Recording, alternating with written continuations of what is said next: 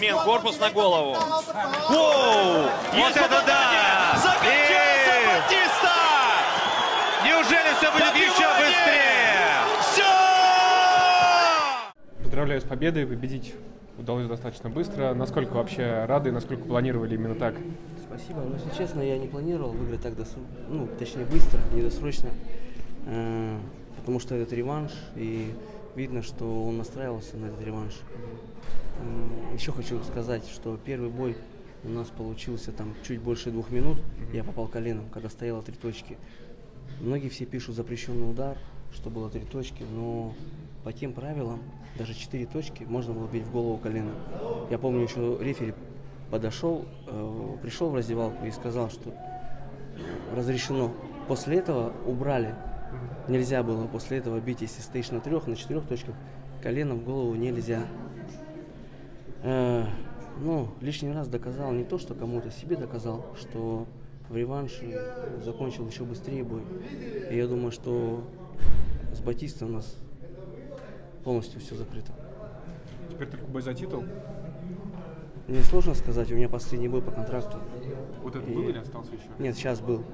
Так что дальнейшие планы я пока не могу сказать, что будет дальше. Мне надо просто побыть семьей.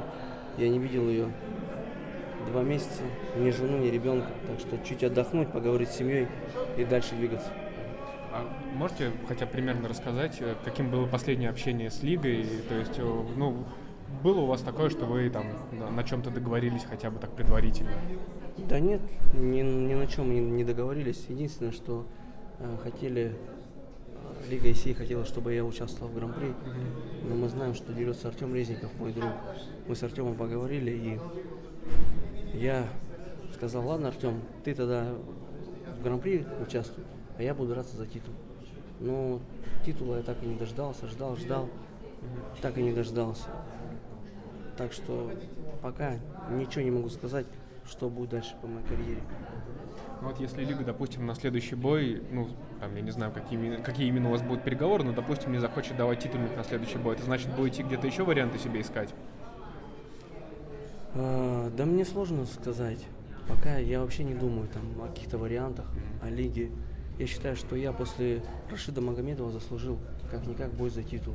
Потому что у меня две было победы, получается, к ряду. Ну, я не знаю, насколько меня Лига ИСИ проверяет. Не знаю.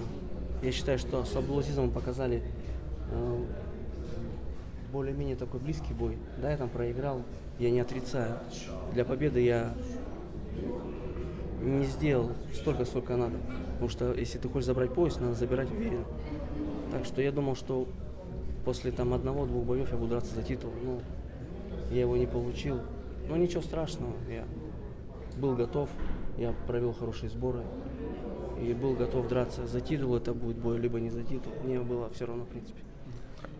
Да. Александр, а на данном этапе карьеры что вас мотивирует?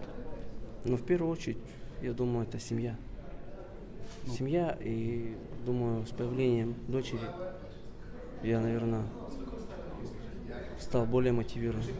Друзья у меня рядом, которые мне помогают, с кем я езжу на сборы. Так что вот эти люди меня мотивируют. А если говорить о спортивной составляющей, спортивной карьере. Что мотивирует? Да. Именно спортивной карьере? Да я думаю, больше всего ребенок. Не знаю. почему. Потому что я выхожу ради своего ребенка больше всего на сегодняшний момент. Просто со стороны кажется, нет так- как таковой мотивации драться вновь за титул. Ну, то есть ты в- более так спокойно относишься к этому, Более спокойно к чему? к титулу. То есть как будто бы Эдик, поздравляю. Что, что еще повторить вопрос? как будто бы а, у тебя нейтральное отношение к бою за титул. Да мне сложно сказать за титул. Я говорю, что я был готов драться именно март, апрель, май. Вот в эти даты я готов был драться за титул. Но я поехал в Таиланд, я провел там хорошие сборы. Я приехал э, домой, я съездил в Осетию, сделал сбор по вольной борьбе. Потом я поехал сейчас к этому бою в Казахстан. То есть я был готов драться за титул. Я его ждал. но по итогу я его не дождался и не получил. Так что сейчас говорить о титуле мне сложно, что будет вообще дальше с моей карьерой, я пока сам не знаю. Домковский подходил вам, общались. Э, О чем было общение? Все-таки у вас бой был относительно недавно. Ну, Артем сказал, ты машина. Но на самом деле я никакая не машина, потому что я такой же человек, как и все. У меня две руки, две ноги. Артем, конечно, за него переживаю очень сильно, потому что у него всегда тяжелые бои. И когда я дрался с Артемом, я просто хотел пройти ему в ноги перевести в партер, сделать какой-то прием.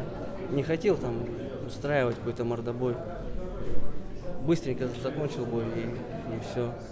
Но он говорит, я ждал, что у нас будет с тобой заруба, мы получим бонус. Я говорю, да зачем нам получать какие-то травмы лишние? Так что Артем, что мы всегда с ним общаемся, всегда на связи, дружим. Не то, что там после, после нашего боя мы, мы еще со времен М1 вместе выступали, вместе дрались, в Америку летали, так что у нас хорошие с ним отношения. Александр, сейчас у вас такая встреча произошла с Магомедом и Исмаилом достаточно теплая, обнялись, пообщались. А, Вот э, Александр Шлеменко скоро с ним драться, а нет такого, разве что, вот э, раз он ваш одноклубник, я имею в виду Александр Шлеменко, то должны быть какие-то более, скажем так, напряженные отношения с э, командой оппонента. Ну как напряженные? У меня с Магой никаких там напряженных отношений нету. Почему, если человек ко мне относится нормально, почему я должен к нему там с каким-то негативом относиться? Мы с ним часто видимся на этих турнирах на ИСЕ. Всегда он всегда поздоровается, всегда можно с ним постоять, пообщаться. Так что никакой там вражды нету. Это, это, это, это просто спорт и все. Ничего личного. Никто же не переходит какие-то грани. Никто друг друга не унижает, там еще что-то. Так что я думаю, в первую очередь надо оставаться человеком и уважать друг друга. Неважно, там, дерешься, не дерешься, там, ну, бой пройдет, что они руки не пожмут, что ли? Я думаю, пожмут. Ну просто вот Александр, извини. Да. Ну просто Александр э, говорил, что, допустим, его манера э, Магомеда, как он выразился, раздражает э, порой, а вас, получается, не раздражает? Ну, как говорят, Магомед расслабляет своих оппонентов. Ну, меня как он может раздражать или там еще что-то? Я к нему нормально отношусь. Мне он никогда ничего плохого не сделал. И никогда в мою сторону ничего плохого не говорил. Так что он нормальный, порядочный парень, воспитанный. А Александр Шлеменко сегодня мог оказаться в углу? А, обсуждалась такая идея? Нет, этого точно не обсуждалось, потому что ребята были, вот парень прилетел, как раз тоже был на сборах в Казахстане, Шах, Шавкату Рахманову помогал на UFC готовиться с Осетии. Я вот с ним на сборах был вместе. Антон Колосницын у меня в углу был.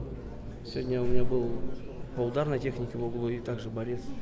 Так что никаких проблем не было. Александр сейчас готовится к своему бою, своему турниру, который у нас будет проходить в Омске, SFC.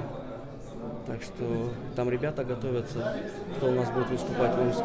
Так что у него работы хватает, и он остался в Омске помогать ребятам.